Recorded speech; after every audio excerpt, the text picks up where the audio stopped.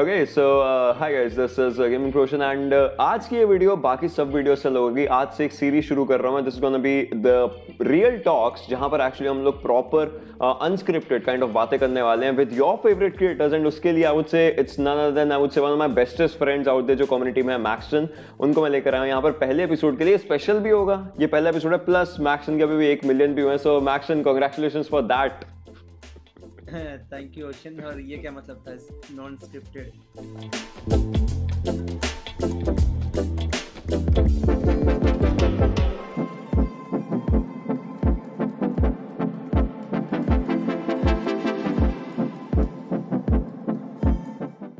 one million one million का सफ़र। किस किस तरीके का सफ़र था? 990 के से वन मिलियन तक के अंदर घुसना। नहीं 99 ओ यू मीन 990 के टू 1 मिलियन या लाइक वही लाइक जो दस हज़ार होते ना आखिरी वो जो आखिरी का दस हज़ार का बंच होता है वो कैसे कैसे लाइक टू बी ऑनेस्ट मैंने चेक नहीं किया मेरे जब 1 मिलियन है तब मेरे को पता नहीं चला कि हो गए क्योंकि क्या सीन था कि किसी और चीज़ में उलझे हुए थे तो इन सब चीज़ों पर ध्यान गया ही नहीं। हाँ। तो नॉर्मली गया उतना ज़्यादा मतलब जैसे वो नहीं होता जब पहली बार एक लाख वैसे जो हाइप थी मेरे अंदर वो हाइप क्रिएट नहीं हो पाई।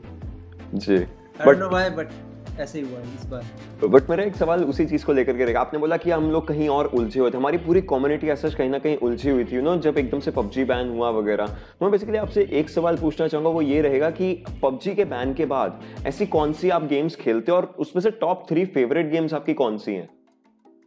टू बी ऑनेस्ट अगर मैं आपको ईमानदारी से बताऊँ मेरे अलावा जितने भी पबजी प्लेयर्स हैं लगभग ई स्पोर्ट्स प्लेयर को छोड़ के लगभग सब बोर हो चुके थे। क्योंकि ई स्पोर्ट्स प्लेयर में तो आपको कंपटीशन मिलता रहता है तो आप करते रहते हो ग्राइंड लेकिन जैसे कि मान लो कि मैं बहुत ही कम लेवल पे टीयर वन टीयर टू खेलता हूँ मतलब जब मौका मिलता है तब खेलता हूँ मैं, मैंने छोड़ दिया, क्योंकि टीम थी नहीं मेरे पास। तो ऑब्वियसली मैं बहुत ज़्यादा बोर हो चुका था पबजी से वैसे भी।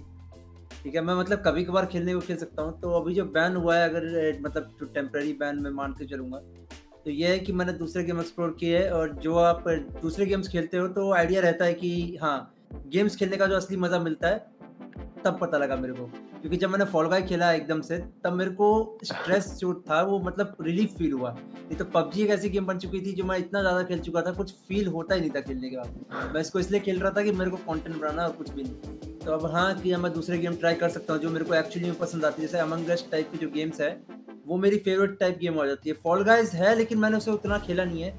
मैंने लाइक जो फ़र्स्ट डे खेला था वही फ़र्स्ट डे खेला था। उसके बाद जो कंपटीशन डायरेक्ट प्रो प्लेयर से भिड़वा दिया मेरे को। मैं शायद सेकंड नीचे से टॉप फाइव में हूँ उसमें। तो फॉल का का एक्सपीरियंस मेरा ज़ीरो है लेकिन उस टाइप की गेम मेरे को पसंद आती है। मैं अभी खेल नहीं रहा लेकिन हाँ खेलूँगा ज़रूर। अभी जो। तो मेरा फोकस है जिस पे भी मज़ा आ जाए वो।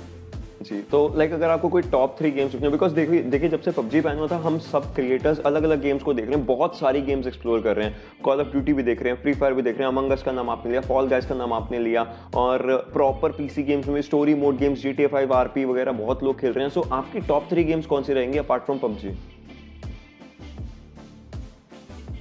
देखो मेरे को जो गेम पसंद है उसमें जी टी आता है टॉप पे लाइक मुझे 2013 से ही पसंद है। मैं उस समय से खेलना चाहता था लेकिन उस समय मेरे पास कंप्यूटर था नहीं कि मैं खेल सकूँ तो मैं मतलब दोस्त के पास जाता था जी टी सैन एंड्रियास खेलने फिर वाई सिटी खेलने ठीक है? मतलब ऐसे इमेजिन करके खेलता था कि जी टी ए फाइव ही खेल रहे हैं ठीक है?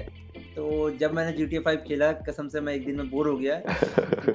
मैं बोर हो गया लेकिन जब मुझे पता लगा कि जी टी ए में ये ये होता है ऑनलाइन में आप ये कर सकते हो उसके बाद स्टोरी या फिर चैलेंजेस जो करते हैं। हम लोग तो वो सब पता लगने के बाद मेरे को जी फिर अच्छी लगने लगी। तो कभी कभार अगर मेरे को टाइम पास करना होता है तो मैं जी में प्लेन उड़ाता हूँ। तो जी एक पसंद गेम हो गई।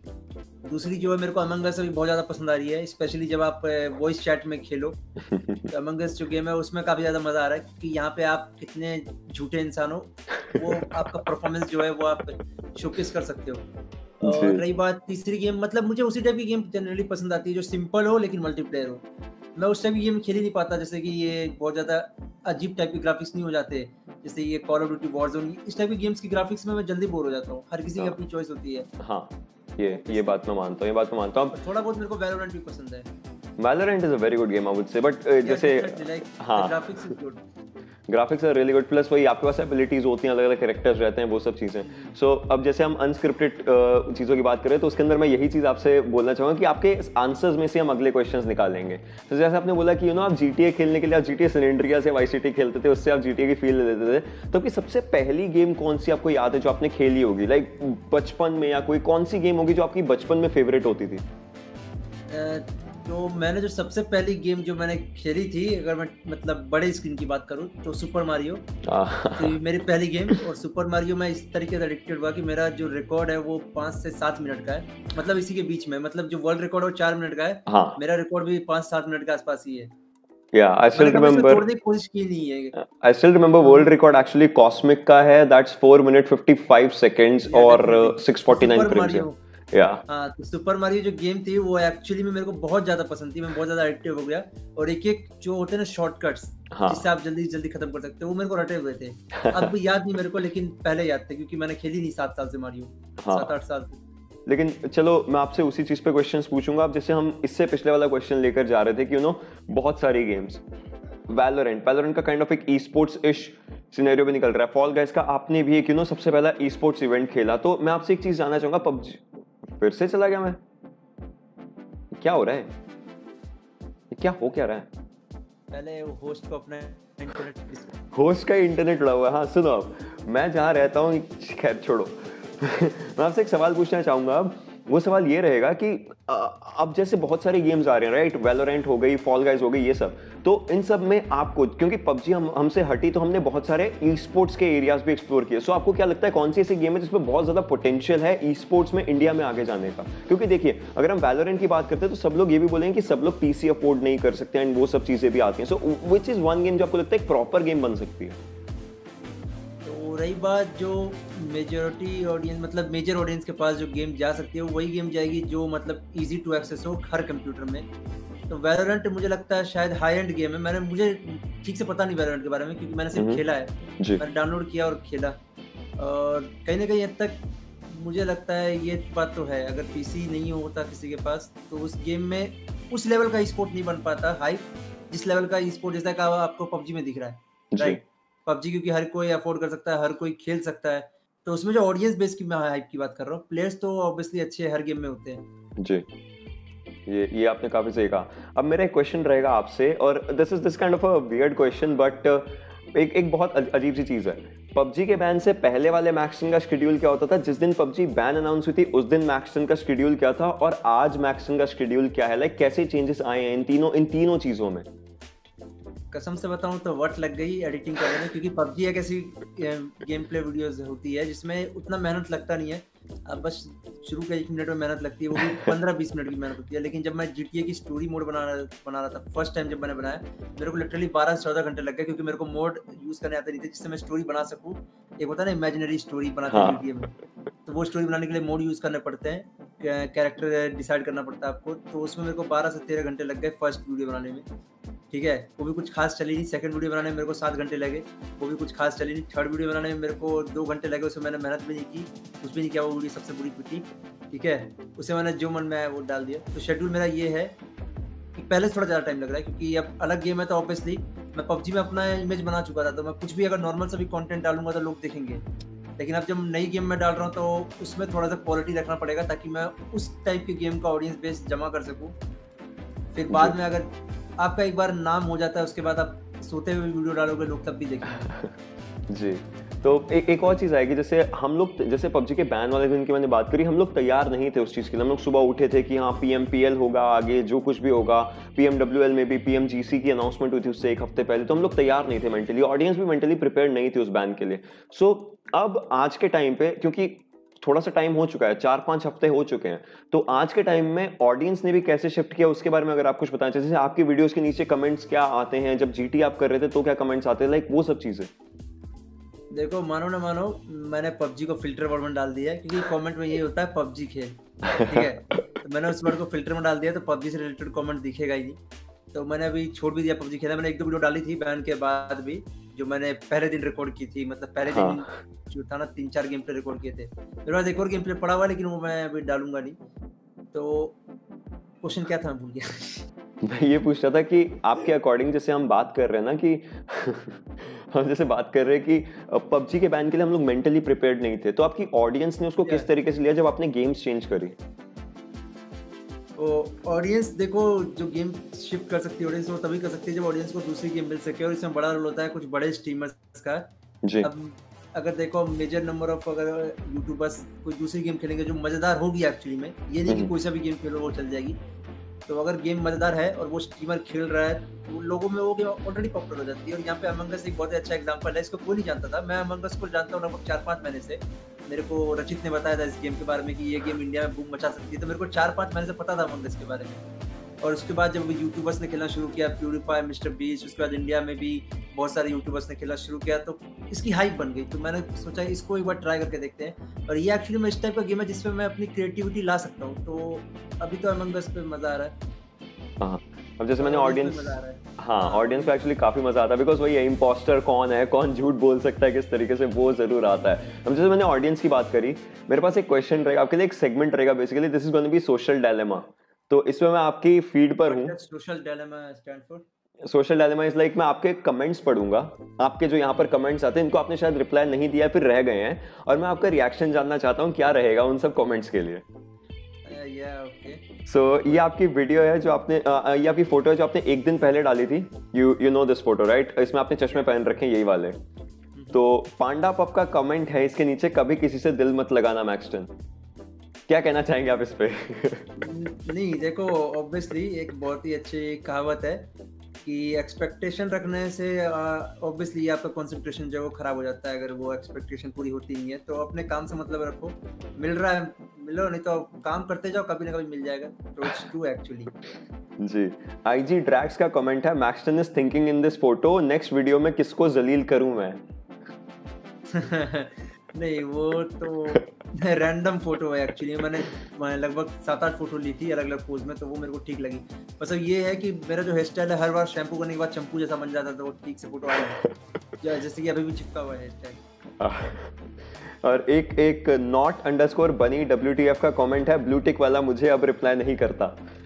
देखो मैं क्या सीन है मेरा रिप्लाई का? इंस्टाग्राम पे मैं रिप्लाई करता हूँ जो शुरू के जो कमेंट आ जाते हैं ना मतलब हाँ। जब मैं पोस्ट करता हूँ शुरू के जो जितने भी अच्छे कमेंट होते हैं लाइक को देखता मैं सारे कमेंट हूँ मैं कर देता हूँ रिप्लाई उसके बाद कभी कोई यूनिक सा कमेंट दिख गया तो रिप्लाई कर देता हूँ। अगर मैं रिप्लाई करने पाया तो मेरा पूरा दिन इसी में चला जाएगा। जी। तो चलो इससे इससे एक और चीज़ मैं पूछना चाहूँगा। अब जैसे बहुत सारे यू नो कमेंट्स आते हैं बट इंस्टाग्राम ने एक चीज़ चेंज करी फिर रिमेंबर इंस्टाग्राम ने रीच का भी एक सिनेरियो चेंज कर दिया। अब आपके 10 परसेंट ऑडियंस को ही दिखाता है वगैरह। तो उससे आपके अकॉर्डिंग क्या चेंज आए होंगे? नहीं definitely I think it's only a rumour okay because they they like there were no any official announcement about this. So i think it's a rumor. और ये इस टाइप का rumor था कि everyone believed it. I don't know why but they did. तो मुझे लगता है रूमर ही है क्योंकि मेरे को कोई फ़र्क पड़ा नहीं इंस्टाग्राम पे। मुझे पता है कि किस फ़ोटो पे मेरे 40 से 50 हज़ार के लाइक्स आएँगे किस पे मेरे 80 हज़ार आएँगे किस पे एक लाख जाएँगे। जैसे मेरा जो केक वाली फ़ोटो थी मुझे पता था इस पे सत्तर हज़ार ईजी जाएँगे। हाँ। तो वो एक्चुअली में नहीं है अगर आप सेम फ़ोटो बार बार डालोगे सेल्फी के साथ तो कौन लाइक करेगा? आप खुद सोचो सेम थोड़ा बार बार देख रहे हो सेम पोज में कौन लाइक करेगा? मैं तो इग्नोर स्कोर स्क्रॉल कर दूँगा अगर कोई मेरा अच्छा दोस्त नहीं हुआ तो। जी एक एक बहुत अच्छा एक्चुअली कमेंट uh, है पारस अंडरस्कोर ईएक्सी का उन्होंने लिखा है don't worry Maxtern one day will defend all your haters with love and strengthen of your to true lovers तो आप अपनी मतलब उस फैंडम के लिए क्या कहना चाहेंगे जो आपको एक पॉजिटिव वाइब देती है हर दिन? देखो रही बात है हेटर्स की तो जितने भी हेट कमेंट है वो तो मैंने फ़िल्टर कर रखा है क्योंकि मेरे को टाइम वेस्ट नहीं करना पड़ने में। ठीक है हर टाइप के हेट कमेंट और दूसरी बात मेरे को समझ नहीं आता है हेटर्स होते क्यों है? एक्चुअली जो हेटर्स होते हैं जनरली वो जानते नहीं है स्टीमर को ठीक से। इट्स लाइक किसी ने किसी से अफवाह सुनी वो बस वहाँ पे आ गए अपना ज्ञान डालने के लिए कमेंट सेक्शन में। ना जानते ना पहचानते एक बार जान लो हेटर नहीं हो सकते। जी। हाँ वो अलग बात है कभी कभार मैं कुछ ज़्यादा सच बोल देता हूँ किसी अच्छे बंदे के खिलाफ बोल दिया तो। चलिए खैर वो वो ज़्यादा उसके अंदर चला जाएगा बट कोई बात नहीं। मैं एक चीज़ और जानना चाहूँगा मान लीजिए जस्ट मान लीजिए अगर मैक्सन यूट्यूबर ना होता अगर मैक्सन ने सोचा ही ना होता कभी, अगर सागर ठाकुर मैक्सन ना बनता तो सागर ठाकुर क्या होता आज के टाइम में? लाइक क्या क्या सोचा होता, क्या करना है? सागर ठाकुर अभी अपने एग्ज़ाम होने का वेट कर रहा होता, नौकरी कैसे मिलेगी ये सोच रहा होता डिप्रेशन में होता, और पीछे जितने भी बैक आई पड़ी है, उसको कैसे निकाले उस चक्कर में सोया पड़ा रहता है समय। बट स्टिल आपके क्योंकि ये स्टोरी आई गेस बहुत कम लोग जानते हैं बट पहले भी आपने चैनल्स बनाए थे वो चैनल्स चले नहीं चले बहुत बार बहुत सारी चीज़ें हुई थी। सो so, उसके बावजूद इतने सारे सेटबैक्स के बावजूद ऐसा क्या होता है कि आप उठते हो और हर दिन आपको एक पॉजिटिव वाइब मिलती है कि आज उठकर काम करना आज उठकर एक प्रॉपर वीडियो बनानी जो मेरी ऑडियंस को पसंद आएगी? इसका एक एग्जांपल से लेता हूँ। सपोज़ करो आप रेगुलर जिम करते हो और जिम कर करके आपने बहुत ही अच्छी बॉडी बना ली बहुत ही अच्छे सिक्स पैक एप्स है एकदम आपने ब्लड सर्कुलेशन अपना हाई कर लिया आप बिल्कुल लाल गुलाबी दिख रहे हो। तो ऑब्वियसली आप एक्सपीरियंस हो चुके हो वहाँ पे। इसी तरीके से इतने बार फेल होने के बाद मेरे को यूट्यूब का आइडिया था कि किस तरीके से चलता है। जब पबजी आया तो वो ट्रेंड था। हाँ. मेरे को पता था कि ये ट्रेंड है अगर मैं इस ट्रेंड को फॉलो करूँगा तो उठूँगा ही उठूँगा। तो उस वक्त मैं जब गेम प्ले वीडियोज़ नहीं बना पाता था जब मेरे पास एक एंड्रॉइड फ़ोन था तो उस एंड्रॉइड फ़ोन में मैं गेम प्ले वीडियो बना नहीं सकता चाह के भी। तो वहाँ पे मैंने फर्जी वीडियो बनानी शुरू की फर्जी ट्रॉल वीडियो तो वो क्यों बनानी शुरू की? एक्सपीरियंस से मैंने देखा कि क्या चल रहा है किसके चैनल पे कैसे वायरल हो रही है। मैंने केसिटो को देखा उसकी ट्रोल वाली वीडियोस बहुत चल रही है। हाँ। तो पता लगा ये भी फर्जी वाला कर रहा है तो मैंने भी फर्जी वाला किया। दोनों ने खूब कमाया। कमा के आईपैड खरीदा आईपैड से गेम प्ले अपलोड करना शुरू but what are the what are the best movements अगर आपके माइंड में कोई ऐसी मूवमेंट है जो आपको याद होगा इस पूरी यूट्यूब की जर्नी में लाइक like यूट्यूब हो गया, आपका कास्टिंग हो गया जो आपने किया, आपने फ्री फायर के लिए भी किया, आपने पबजी के लिए भी किया है, उन सब के बाद अगर हम बात करें यू नो इवेंट्स के अंदर भी आपने और मैंने हम लोग इकट्ठे भी कास्टिंग किया है, उसके बाद आप वीडियोज़ एडिट करते हो, उसके अंदर काफ़ी सारी अच्छी चीज़ें होती है, ओ भाई ओए को आपने फ़ेमस किया, उसके बाद आपके टिकटॉक पर वेरिफिकेशन इंस्टाग्राम पर वेरिफिकेशन सो कोई एक ऐसा मूवमेंट अगर आपके माइंड में है, एक मिलियन एज वेल कोई ऐसा मूवमेंट आपके आपके माइंड में जो एक यू नो बहुत यूनिक है और आप मेमोरेबल रखना चाहोगे उसको? Definitely Instagram blue tick verification like I thought it won't be possible मैंने उम्मीद छोड़ दी थी क्योंकि बहुत ज़्यादा ट्राई मैंने देखो कनेक्शन तो बहुत बना ली थी। मैंने फर्जी लोगों से लेके बहुत सारे एक्टर एक्ट्रेस से कॉन्टैक्ट किया। मतलब मेरे डीएम में सबसे चैट हो रखी थी कि how did they get verified tick mark on their account लेकिन तब भी कोई सोल्यूशन नहीं मिल रहा था। अंत में जाके किसी भले इंसान ने मदद कर दी मैं उसका नाम अभी दूँगा नहीं क्योंकि हाँ। मना किया उन्होंने। तो भले इंसान ने मदद कर दी तो वो मेरे लिए एक्चुअली में अनबिलीवेबल मूवमेंट था क्योंकि जब मैंने उम्मीद छोड़ी तब जाके मेरा वेरीफाई हुआ। जब तक उम्मीद थी तब नहीं हुआ। यही कहते हैं एक्सपेक्टेशन रखोगे दुखी रहोगे। एक्सपेक्टेशन रखना बंद करो क्योंकि blue tick is only tick it doesn't matter बहुत सारे लोग उसका हाई बना देते हैं इसलिए आपको लगता है वैल्यूएबल है। But it's not like that अगर आप काबिल आप सब सपोज़ करो ट्रिगर इंसान है उसका ब्लू टिक नहीं है तो इसका मतलब ये थोड़ी है कि वो मेरे से कम टैलेंटेड बंदा है ऑब्वियसली मेरे से कहीं अच्छा ही is a very nice person is a very very nice person या पर्सन भी अच्छा टैलेंट भी अच्छा तो वही एग्जांपल मैं बस ऑडियंस से इतना कहना चाहता हूँ अगर किसी स्ट्रीमर को हेट करना है पहले उसकी दो चार बेस्ट वीडियो देख लो। हाँ। उसके बाद डिसाइड करो एक्चुअली में हिट करना है उसके बाद ये भी एक सेकंड एक सेकंड एक सेकंड मैक्स एक सेकंड एक सेकंड एक सेकंड एक सेकंड या एक सेकंड मैं फिर से पूछता हूँ मैं फिर से पूछता हूँ। पीछे पता नहीं गानों की आवाज़ चलने लग गई थी। कॉपीराइट आते बिना बात के so if is is there any message जो आप अपनी ऑडियंस को देना चाहेंगे जो पूरी गेमिंग ऑडियंस को देना चाहेंगे जो यू नो गेमिंग ऑडियंस को भी एनकरेज करे नई गेम्स देखने के लिए नई गेम्स ट्राई करने के लिए प्लस ऑडियंस बिकॉज़ देखिए पबजी इसलिए फ़ेमस होता है काइंड ऑफ़ क्योंकि हर कोई देखने वाला भी खेलता था। अब सारी गेम्स देखने वाले खेलते नहीं है सो so कोई ऑडियंस uh, के लिए मैसेज अगर आपके पास हो हमारी कम्युनिटी के लाइक वो क्या होगा? एक सजेशन तो ये रहेगा ऑडियंस के लिए, जितने भी पबजी के मतलब बिल्कुल सो कोल्ड फैंस हैं मतलब जो सिर्फ़ पबजी पसंद करते हैं, अगर कोई दूसरा गेमर कोई और वीडियो अपलोड करता है इस वीडियो को ये करने के लिए क्लिक ना करे कि बस आप जाओ कमेंट कर दो पबजी खेल, उसके बाद एग्जिट कर दो। बेचारे उसका वॉच टाइम कम हो जाता है एवरेज तो ये करना बंद करो। दूसरी चीज़, जो हेटर्स होते हैं हेट करने से पहले तीन चार वीडियो देख लो किसी क्रिएटर की, उसके बाद डिसाइड करो कि हेट करना है कि नहीं करना, फालतू मेट करते रहते हो। और तीसरा रीज़न ऑडियंस को ये कहूँगा, अगर हेट करते भी हो तो इतना फालतू टाइम कहाँ से आता है यार नेगेटिव कमेंट लिखने का? मतलब सीरियसली तो ये तीन चीज़ अगर हो जाए तो ऑडियंस और गेमर का रिलेशन बहुत अच्छा हो जाएगा। जी जी। काफ़ी काफ़ी सही तरीके से ऑब्वियसली आपने बताया। And I would say this is obviously the first interview out here for this channel but it's it's a very positive interview because आपने एक ही चीज़ के बारे में बात करी है। चाहे आप हेटर्स के ऊपर बात करें बट इट्स ऑल अबाउट कि सब लोग अगर यू नो एक पॉजिटिव इंपैक्ट से देखते हैं तो हर चीज़ कहीं ना कहीं इकट्ठी होकर आती है। एंड हमारी कम्युनिटी और अच्छे तरीके से ग्रो हो सकती है right right? Yeah definitely. That's that's a very good one and i would say so. Uh, with all those things i would say uh, thank you max आपने अपना वैल्यूबल टाइम यहाँ पर दिया ज़रूर एंड uh, यहाँ पर आने के लिए थैंक यू एंड मेरे को कुछ नहीं इट वाज लाइक मैंने और भी बहुत लोगों से पूछा ज़रूर बट मेरे को मैक्सन को एक बार मैसेज करना पड़ा ही वाज लाइक ठीक है मैं तैयार हूँ सात बजे आठ बजे करेंगे आराम से and it was out they so thank you for giving a precious time for this thing I know कि आप बिज़ी हो plus with all the things that are going up right now the times not at best but still, uh, it's it's it's an honor for me to you know start it all with you, and uh, I would just say all the best for all the future endeavors जो आपके रहने वाले हैं, and uh, I'll I'll probably हो सका Saturday Sunday के जैसे plans बन रहे हैं probably मिलेंगे और क्या